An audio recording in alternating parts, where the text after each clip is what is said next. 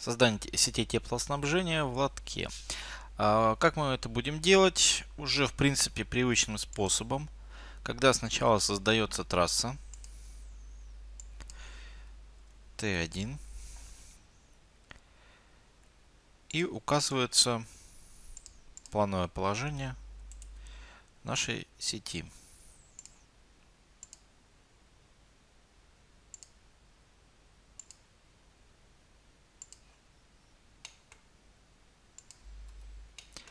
Так, у нас есть э, плановое положение сети. Теперь можно, можно строить профиль.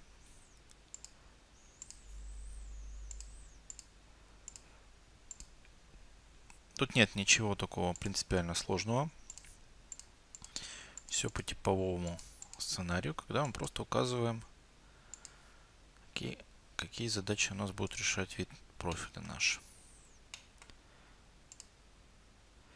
Вот мы получили вид профиля. Опять же, высоту подобрать нужно вида профиля.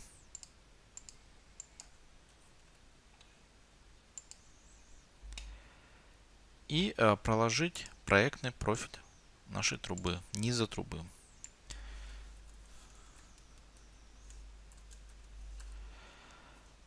При построении проектного профиля э, сетей теплоснабжения необходимо в обязательном порядке указать нужный набор меток профиля. Для чего это делается? Для того, чтобы у нас правильно отобразились значения в строке уклон длина. Окей. Ну и строим наши сети.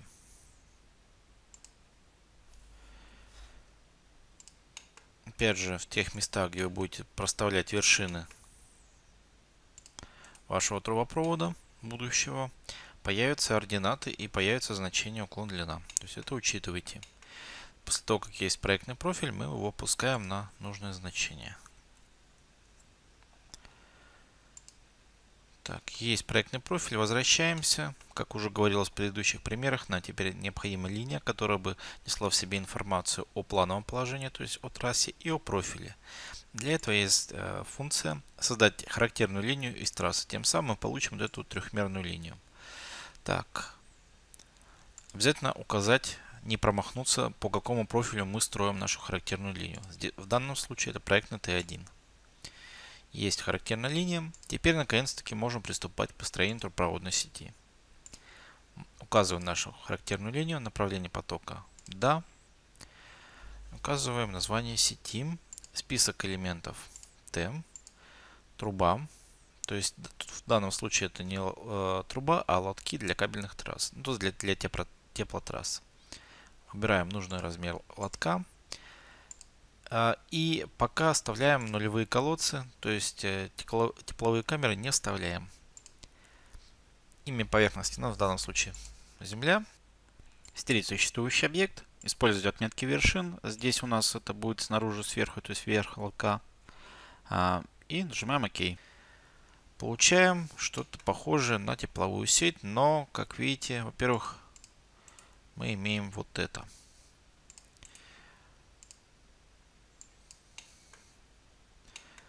То есть вот у нас, видите, сочленение и в местах, в вершинах планового положения у нас появляются кружочки. Эти кружочки это нулевые колодцы. Они нужны только для того, чтобы можно было за них таскать и изменять плановое положение вашей сети. В данном случае это не надо.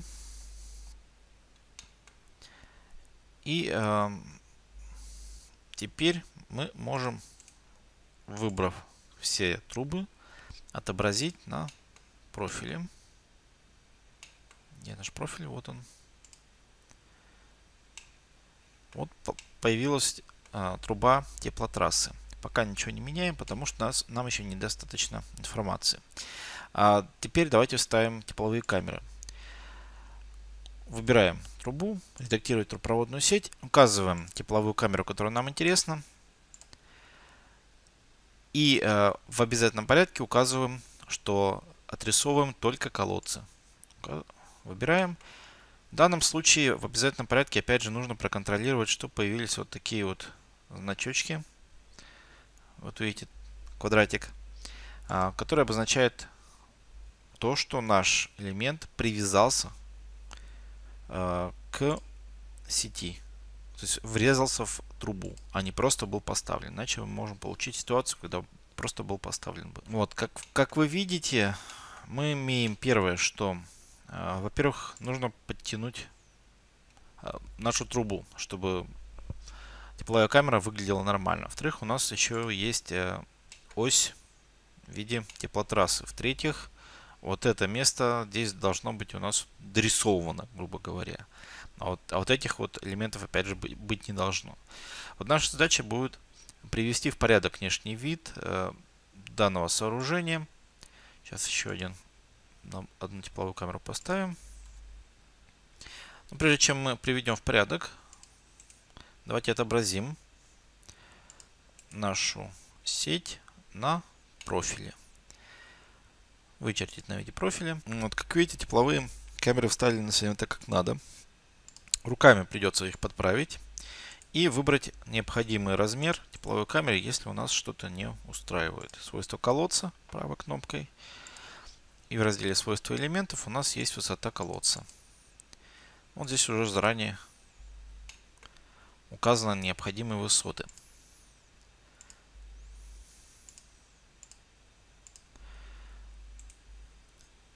Если вам необходимо выбрать высоту, которая не, не, которой нету здесь в списках, то для этого э, будет отдельный разговор о том, как нам добавить размер нужного элемента. Опять же, если вам понадобилось, чтобы значение вот в, в районе этой тепловой камеры появилось здесь уклон длина, то мы выбираем профиль редактировать геометрию профиля, либо вот указать здесь вот а, в ленте. И добавляем просто вершину в нужное место. Так. Так вот. Подтягиваем. Так, чтобы у нас было... Я промахнулся, но смысл примерно такой будет. Так, так давайте теперь приведем э, в порядок э, наш профиль. В данном случае начнем с проектной натурной отметки. А, проектные отметки, опять же, геометрия у нас берется с проектной Т1. И для Земли геометрия берется с проектной Т1. Но отметки нам необходимо, чтобы, значит, э, в, в разделе проектной отметки Земли проектной отметки Земли у нас брались с проектной красная, а для натурной земли он просто земля. Дальше. Для всех значений, отметка верхней низа трубы и так далее, а, у нас вот все очень просто меняем на значение нужного трубопровода. Уклон длина у нас заполнилась автоматически, если мы выбрали правильный набор меток нашего проектного профиля. Вот она заполнилась. Номер поперечного разреза в данном случае у нас отсутствует. Развернутый план заполняется автоматически. Нажимаем ОК. вот, в общем-то, как видите, значения разные. Значения трубы есть. Что и надо. То есть оформление профиля довольно простое. Теперь перейдем непосредственно к самим колодцам. А, ой, колодцам, тепловым камерам. Ну, фактически для Civil это просто колодцы. Да, мы можем подтянуть нашу трубу. Но подтягивается она очень хитро. То есть, смотрите, вроде беру, подтягиваю, она не подтягивается до нужных размеров. Почему? Потому что, потому что нужно указать вот здесь на стрелочку. Сказать, что базовая точка. Базовая точка у нас является вот это. И мы подтягиваем сюда. И только тогда, в нашем случае, труба будет расположена так, как нам нужно. Еще раз на треугольничек, базовая точка, откуда вот мы получили нужный нам вид, но еще все равно остается трасса. Но опять же, с трассами можем покладывать. Но вот тут нам, в принципе, как видите, ничего мы не сможем придумать, если мы используем отображение только лишь нашего а, Э, нашего лотка, то есть трубы, которая является по сути лотком. Если я нажму сейчас для отображения нашей тепловой сети, то мы увидим, что труба у нас квадратная, соответственно, она является лотком. Вот. И мы не получим здесь необходимый внешний вид. Как можно быстро и легко это решить? Я беру, а, захожу в свойства трубы, создаю, копирую текущий э, стиль, называю его ничего и отключаю, отключаю отображение э, трубы. Делаем так, выбрать аналог, чтобы выбрались все. Еще разок. Правой кнопкой выбрать аналог. И в разделе свойства, обычно автокадовские свойства, мы можем поменять стиль. Ничего. То есть мы отключили отображение нашего трубопровода. А, но для того, чтобы все-таки этот был трубопровод, я беру, выбираю трассу. Эм, трасса для, для смещения. Указываем нашу трассу. Имя пусть автоматическое. И как раз таки, чтобы сохранить внешний вид нужный, я делаю, то есть если ширина 90, то значит у меня 45 с одной стороны и 45 с другой стороны. Нажимаем ОК. Появляется наша трасса. Да, здесь вроде как мы уже как нужно, но у нас видно вот это. И э, имеется, видите, тип э, линии совершенно другой. Заходим в свойства трассы. Стиль. Копируем стиль существующий. И называем его кромка. Во вкладке отображения линия, тип линии стоит по слою. Мы можем стоять, поставить непрерывный. Окей, окей. У нас появляется такая непрерывная линия. И копируем стиль с одного элемента на другой. То есть можно применять этот инструмент. Почти как надо наша сеть выглядит, но все равно, как видите, еще осталось вот это.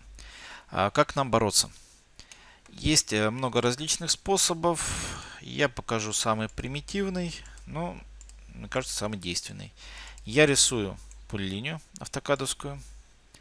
А, кладу ее на стиль под названием сети, ой, на стиль, на слой под названием сети Т. То есть, чтобы тип был точно такой же, как и э, вот у нашего, у нашего будущего колодца тепловой камеры. Э, и рисую вот такие вот элементы, чтобы иметь базовую точку вставки ровно в середине. А теперь создаю автокадовский блок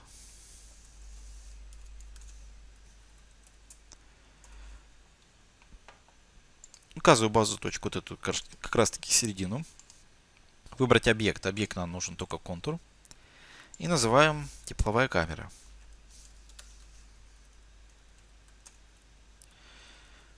Камера. Окей. Появляется автокадовский блок. Я захожу в свойства нашего колодца. А, стиль Т-камера стоит. А, я копирую этот стиль, чтобы не портить изначальный. Называют камера блок, то есть из автокадовского блока. Вкладки, вкладка план, то есть это отображение за, э, в плане. Выбираю пользовательский элемент и в списках указываю тепловая камера. И в единицах измерения используем э, фиксированный масштаб из, э, из размеров нашего, нашего колодца. Вот у нас размеры выставлены непосредственно в, в настройках самого колодца, поэтому мы не, не думаем, какие там должны быть размеры, просто нажимаем ОК, ОК. Ну, в общем-то, что произошло? У нас, да, внешний контур стал браться из э, значений нашего блока, но по-прежнему, как видите, у нас э, видны эти линии. Для того, чтобы не было видно линий, мы можем зайти в редактор блоков, выбрать маскировка и сделать маскировку внутреннего контура. Enter. Линия на передний край. Отображение.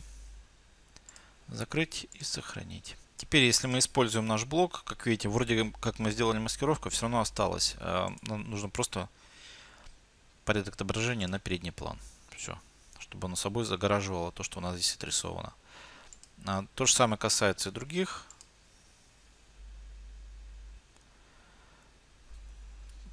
Поэтому убираем нужный просто камера блок. И опять же порядок отображения на передний план. Тем самым это можно удалять. Мы получили нужное отображение нашей трассы, нашего теплопровода с сохранением всех связей и элементов и значения в профиле. Но этот способ есть, имеет и один небольшой недостаток. Если мы попытаемся добавить новую тепловую камеру, э, то, во-первых, будет тяжело даже получить доступ к редактированию электропроводной сети. При нажатии якобы нашей трубы мы получаем доступ к редактированию э, смещ... трассы смещения. А, но только уж нажав на камеру какую-либо, мы получаем возможность до, получаем доступ э, к редактированию электропроводной сети. Но это не самая большая проблема. А проблема в том, что если мы начнем отрисовывать, э, добавлять еще одну камеру, вот, то есть выбираем только колодцы, и вот хотим сюда вот добавить ее, как видите, у нас не появляется квадратик. То есть Civil не показывает, что мы врежемся в наш трубопровод. А, потому что у нас нету отображения наших труб. Для этого я, чтобы получить отображение этих труб и все-таки э, врезать нашу камеру, необходимо будет выбрать все трубы. Ctrl-1. Вот опять не получилось. Бывает такое. Делаем снова выбрать все трубы. Стиль отображения T. Появился у нас, включился стиль отображения. И теперь делаем только колодцы. И теперь как раз таки мы вставили нашу э, камеру. После того, как мы вставили, мы снова можем выбрать применить ничего. А в настройках свойства колодца выбираем нужный стиль отображения. И тогда мы получаем все как надо. То есть приводить к этому виду, которым сейчас имеется, э, есть смысл только лишь уже перед непосредственно оформлением документации. Когда вы проектируете, можете оставить трубы. А трасс лучше делать уже в конце.